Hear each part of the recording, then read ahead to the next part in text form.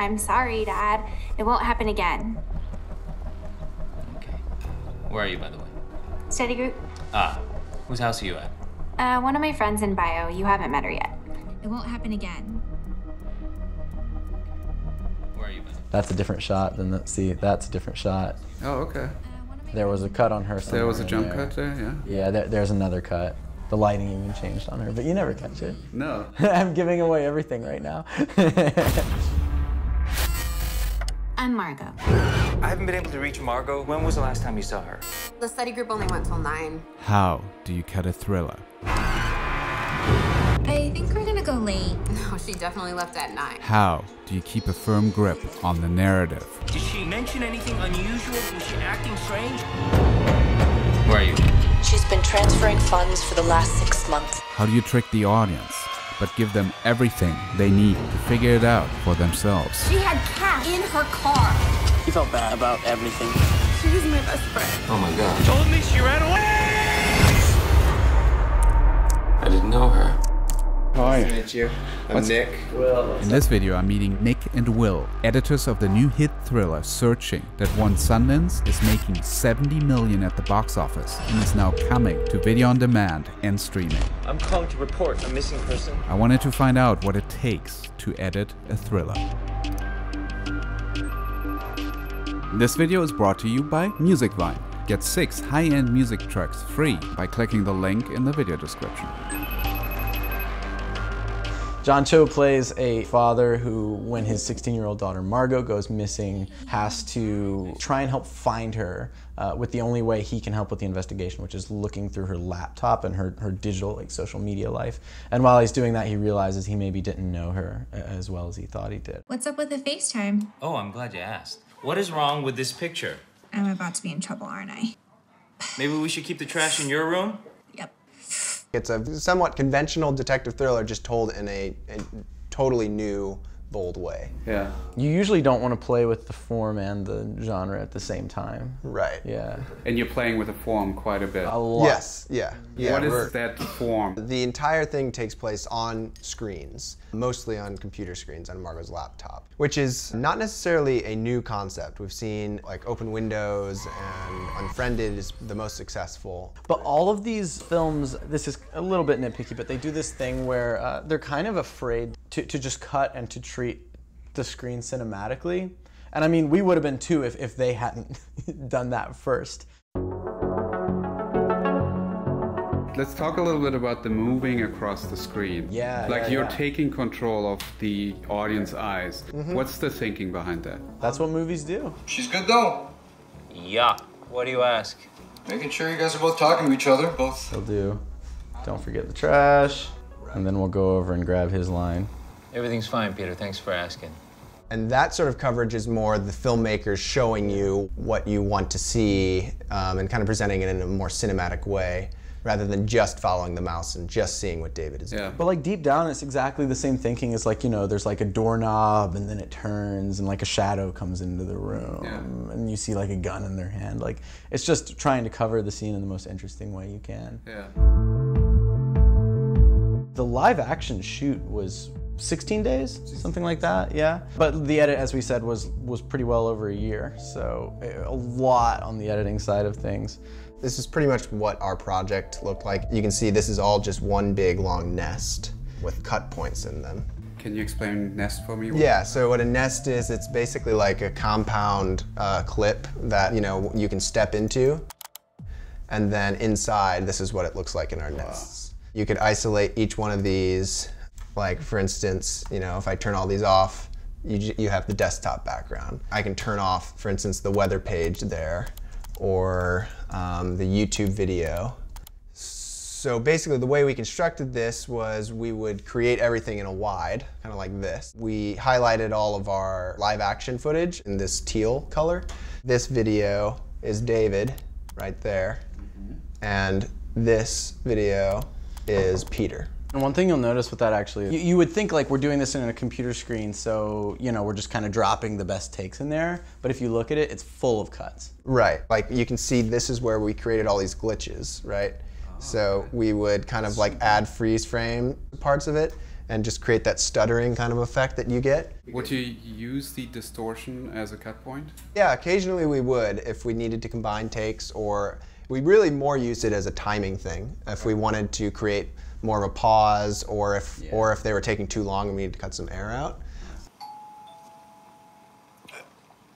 Hey, uh, I gotta go, but send me that recipe, please. Thank you. Yep. Both feeds were actually the actors talking to each other in real life. Like, you still want to do some take selection and playing around with it. A lot of times you wouldn't want to use the same take anyways, you know. Maybe Peter's performance is more what we're going for, but David's performance isn't. So then we would have to combine those takes and then timing would be an issue. It won't happen again. Where are you, Ben? That's a different shot than the, see, that's a different shot. Oh, okay. He's going in slow motion for a while there, and then he plays back. Very obvious cut on her right there. Interesting. So you had to pace it out more. Oh yeah, oh yeah. Now these camera angles, that's not shot with a webcam, right? You, no. It's basically a red or whatever. Wait, the, the, the live action footage of them? That's yeah. GoPros. That's GoPros? Our okay. DP, Sebastian, really wanted everything to look super real. Okay. And then we'll add the layer of cinematic on, on you know, in this part of it. Okay. Um, but yeah, they were just GoPros. In terms of how we actually broke up the work, we just divided the movie into 26 sections, which we later found out is what Pixar does. Oh, interesting. And then we each just kind of took one at a time, uh, and by the end of the movie, we'd both worked on uh, every section. So we, we kind of filled in for whatever each other's shortcomings or strengths are or whatever. What was the dynamic with the director having two editors? Were there alliances sometimes, or how did it was always us against him. Originally, we were in a room where there was a dividing door. We were constantly um, maximizing uh, Aneesh, Seven, Natalie's time because um, while they were working with somebody else, one of the other editors was implementing their notes. Before we move on to the next stage, I want to take a brief moment to thank Musicvine for their support.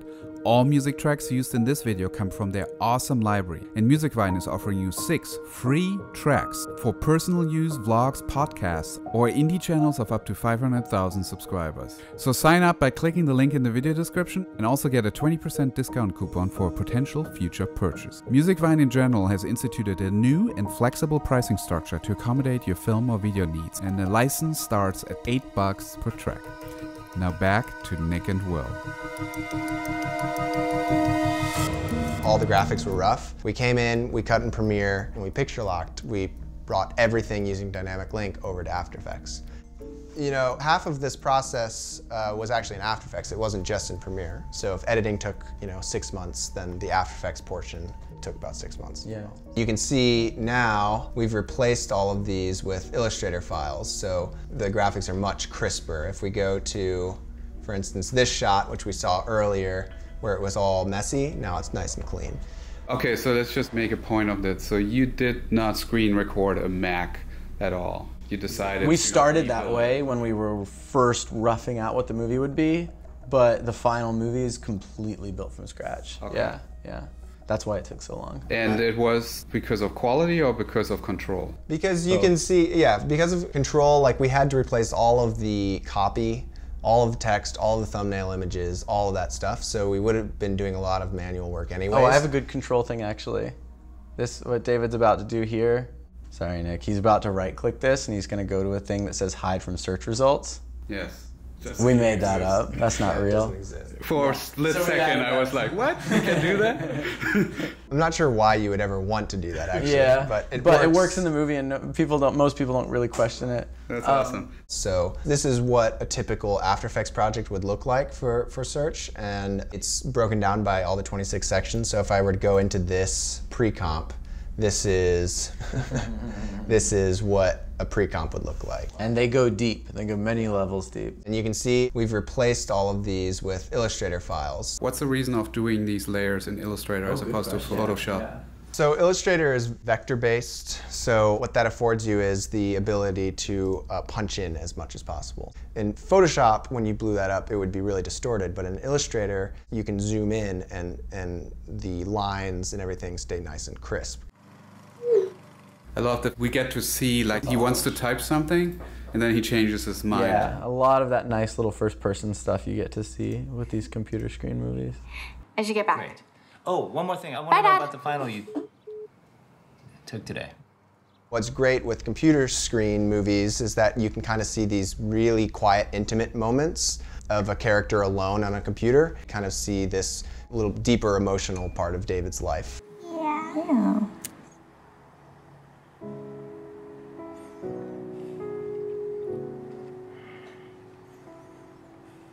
So, how do you edit a thriller? what does it take to edit a thriller? You gotta like thrillers. That's good. For me, what a thriller is about is making sure that it's never dragging, that it, the story is streamlined, and that one thing leads to another, and that you're keeping the tension um, high. I think the script was already incredible, and then what we did in editing was we um, just made sure that the plot was always, always moving forward. Did she say where she was going? Not really. How'd she look? Was she worried? Did she look scared? Was she talking? Honestly, I, I don't know. We're not really that close. Why did you invite her to study group? However, I think not being afraid of pauses. I mean, this is like every editor says this, but but just you know, not being afraid to let things breathe when they need to breathe is very crucial, especially when tension is a big part of the story. I think our our first cut was way way too fast. Um, and even though our runtime came down because we cut unnecessary scenes, uh, every scene individually probably got a lot longer in the final movie. Okay, you were you were in her class though. Did she mention anything unusual going on lately? Was she acting strange? Any advice for aspiring editors? From a purely functional level, it's probably good to learn After Effects and stuff like that. I know like editors far along in their career hate me for saying that, but that helped us. Um, uh, Specifically for thriller editing, any advice? be emotional about it. Be like, you know, like like think about the actors, not just like the software, and and like look into their eyes and really like feel the takes. Watch them full screen. Don't watch them in some tiny little window, um, and and watch movies in theaters and. And just re- like get deep into it, like really focus all your attention onto the performance they're giving. I think, yeah. So, what does it feel like to look at this movie now after the fact? Now, now um, that it's out. Nothing. Yeah, we've, we've just seen it so many times. How do you how do you deal with it? That like as an editor, after cutting it and recutting it, recutting it, you're like emotionally dead, and you still have to make it better. Watching it with audiences really helps. So when we would test it on an audience and you see their reaction, you remember your initial feeling. You really got to try and hold on to that and, and trust each other as a team as well because say there'll be moments that uh, Nick will remember the emotional core of that I wouldn't remember and vice versa. Uh, but I really think like watching it with a friend or an audience is a great way to refresh your, your mind about what the scene is trying to do and what the movie's trying to do. Yeah, getting those mirror neurons fired up again. Yeah. I want to thank Nick and Will for letting me shadow them and give us a deep dive into their process. They also answered a bunch of questions directly asked by the patrons of This Guy Edits. Next question comes from Bryce. What do you do if you've edited something a particular way and it's just not working? Well, first, you don't try to convince yourself or anyone else that it's working. Clara would like to know what excited you about editing a screen movie? You guys were credited as editors and director of virtual photography. What is virtual photography exactly? What is it like to go to Sundance and what can you do as an editor when you're at the festival to like get the next gig? I feel like we failed at that, man. Yeah. But it worked out for us anyway. So this was our first Sundance. Check out their answers on patreon.com slash thisguyedits. A big thank you also to Sony, Bazelevs Production, and especially Alex Anderson, who made this happen. Searching is available now on video on demand and streaming, and now also on Blu-ray. If you've seen the film already, do let me know in the comments what you think about the storytelling, but no spoilers please. Don't forget to check out Musicvine for your free tracks, and if you like this video, there's another one I made with Josh Beal, who cut on House of Cards, Bloodline, and Counterpart. Very late in the process, I presented an idea of playing the shot on Howard. Permission to fire. Take the shot. No, no, stop! There's a lot of stuff going on, right? There are different locations Oh, okay. of action, right? You have like up in the balcony, you have down.